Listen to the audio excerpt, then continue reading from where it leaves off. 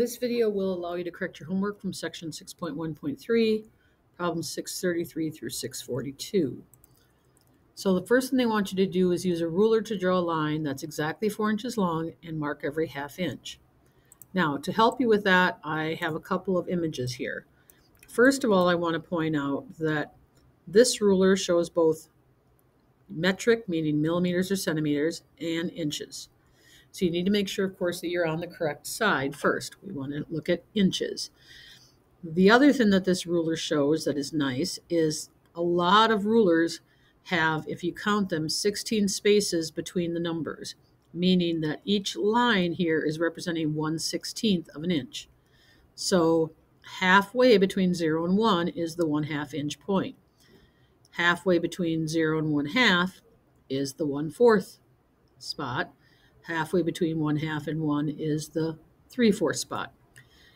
This ruler shows only eight spaces between the numbers, and that can happen in inches as well. Sometimes rulers are divided into sixteenths, sometimes into eighths, and the way that you know is by counting the number of spaces. Um, but basically, if you were using a ruler like this, you'd mark here's my first line, here's my inches, they want it to be four inches long. Uh, I would put a straight line through here. And then to mark my half inches, they would be located here, halfway again between. How many of those are there? You would count the number of spaces and see that there are eight half inches in four inches. And then they want the quarter inches now marked, the one fourth inches now marked.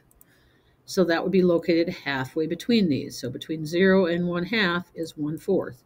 Between 1 half and 1 is 1 fourth. Between 1 and 1 and a half is 1 fourth, and so on.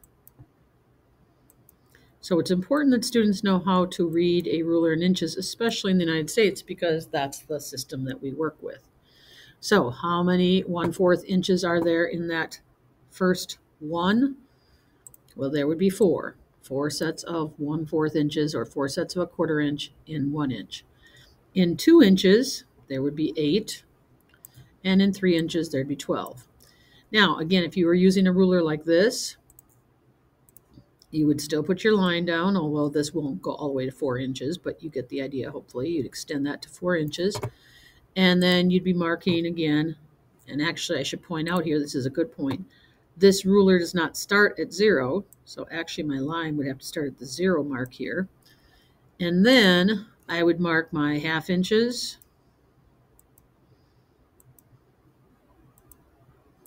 And of course I'd have to continue on to the four inch mark. And then, as I said, the quarter inches. And the quarter inches are going to be halfway between one half and the whole numbers. So Hopefully that is helpful with that.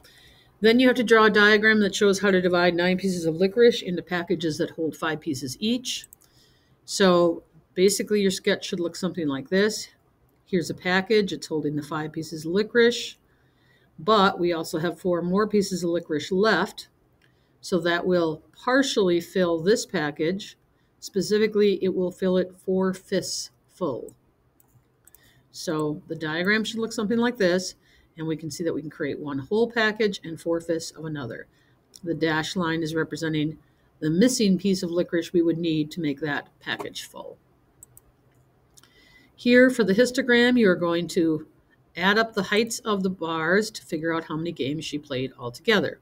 So 1 plus 2 plus 1 plus 6 plus 3 plus 1. And I should see that you added those. You can use a calculator, but I should see that that's what you added to get the value, which is 14 games. Between what two values did most of her scores fall? Well, they fell between 110 and 120, but remember the 120 bin actually starts here. So really it's between 110 and 119 because at 120 it would go into the next bin, which there are no games that she bowled in that range. And then what portion of her scores fell between 130 and 140? Remember in this book series, portion means fraction.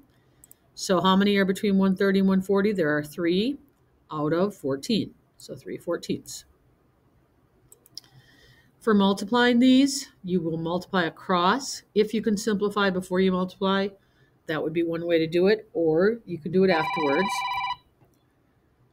So the first one, you would multiply 7 times 5 and get 35. 8 times 6 and get 48. So 35 48 For the next one, 8 65ths. For the third, 36 49ths. And for this last one, you can simplify first. 4 will divide by 4. 8 will divide by 4. Now you multiply across and get 3 14ths. Here you need to graph these points. You can use graph paper and take a picture, or you can, um, you know, insert a graph and then put your points in. But make sure that you have that drawn. I don't have that shown here, but you should be able to do that without any difficulty. And then once you've done that, you should have a rectangle with a length of 4 and a width of 3. So the area, of course, would be length times width, 12 square units. Here you had to draw a diagram to calculate these quotients. Quotients are the answers to a division problem. So for 4 divided by 1 third, you're going to show four rectangles, divide them into thirds, and count up how many there are, which is 12. For 6 divided by 2 thirds, I have six rectangles. I would put them in groups of 2 thirds. So here's a group of 2 thirds, that's one group. Then maybe just pick a different color. Here's a group of two thirds. Okay. Another one would be a group of two thirds and just kind of work your way all the way across. And what you should find is that there are nine groups altogether. So there's three here. And again, if you continue to make those groups of two thirds, you should see a total of nine groups of two thirds.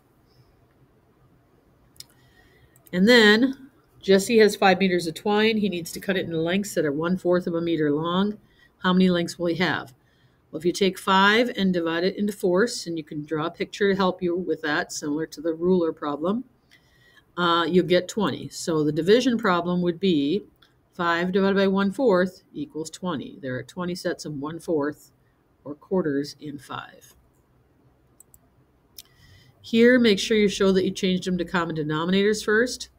So you'd have 10 16ths, 3 16ths would stay, 6 16ths, 16 16ths would stay, 4 16ths, 2 16ths, uh, looks like multiplying by 4, 12 16ths, and 14 16ths.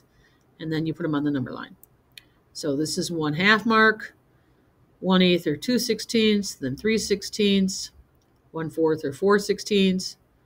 This would be 6 16ths, 10 sixteenths, 12 sixteenths, 14 sixteenths, and of course 16 sixteenths is the same as one whole. Here, the answer that is the most accurate is B. And the reason one third is the most accurate is because one third as a decimal is actually 0.3 repeating, which is close to 33 hundredths, but not exactly the same. Same thing here. Um, the percentage for one third is actually 33.3 repeating percent, which is close to 33 and 3 tenths percent, but not quite.